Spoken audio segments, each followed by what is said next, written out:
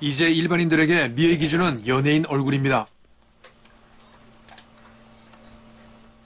올해 25살의 한지환 씨. 이 청년 누구를 닮지 않았습니까? 날렵한 턱선에 특히 오똑한 콧날과 눈매가 조인성 씨를 참 많이 닮았습니다. 그는 한 예능 프로그램에 출연하면서 조인성 닮은 일반인으로 화제가 됐고 당시 인터넷을 뜨겁게 달구기도 했습니다.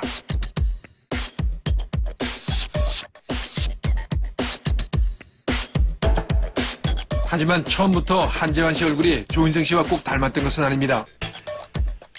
그가 조인성 씨로 바뀌는 과정의 시작은 지난 2010년에 한 코 수술이었습니다.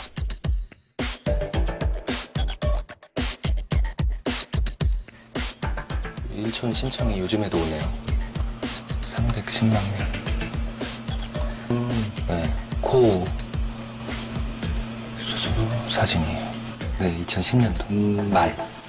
방문객들로 넘쳐나는 그 미니 홈피. 그가 주목을 받기 시작한 것입니다. 성형수술은 그의 일상에도 많은 변화를 주었습니다.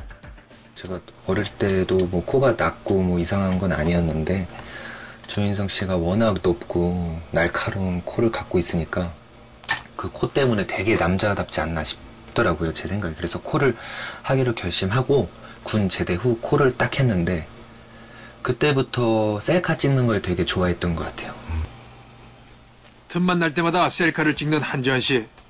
그러다 보니 늘 조인성 씨와 같은 날렵한 턱선이 아쉬웠습니다.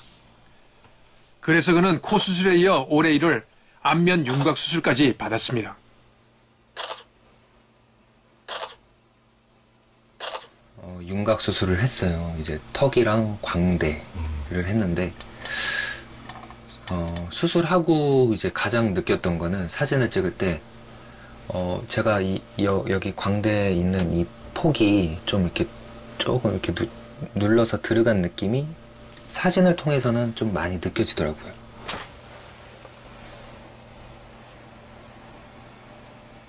제가 이 부분을 수술했는데요. 여기가 이제 흔히 말하는 사각턱 이 부분부터 여기 이제 심부볼 이 라인까지 코에 이어 안면 윤곽 수술까지 처음과 비교해 점점 더 조인성 씨를 닮아갑니다. 놀랬을까? 그렇다면 이처럼 한지한 씨가 조인성 씨를 닮기 위해 성형수술을 하는 것에 대해 가족들은 어떻게 생각할까? 이 친구 눈하고 응. 이렇게 잘랐을 때 이마. 어, 응. 윗부분이 비슷하네. 잘생겼네. 근데 옛날에 너 처음에 나왔을 때 같이 아. 좀 어색하긴 하다. 저보다 아빠가 반대를 많이 했어요.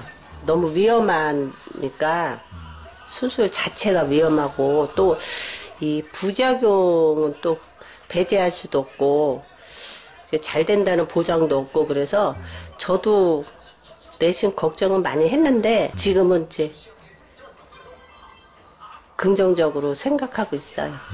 왜 사람이 이게 하나씩은 뭐 무기라는 걸 갖고 있어야 되잖아요. 근데 저는 이제 학력이 좋은 것도 아니고 뭐 집안이 넉넉한 편도 아니고 그래가지고 이런 외형적인 부분을 통해서 나중에 이제 이걸 활용해서 또 뭔가를 이제 수입원을 만들 수 있는 부분이 있다면은 그런 생각을 갖고 지금까지 살고 있기 때문에 그 부분에 있어서는 저는 지금 대만족이에요.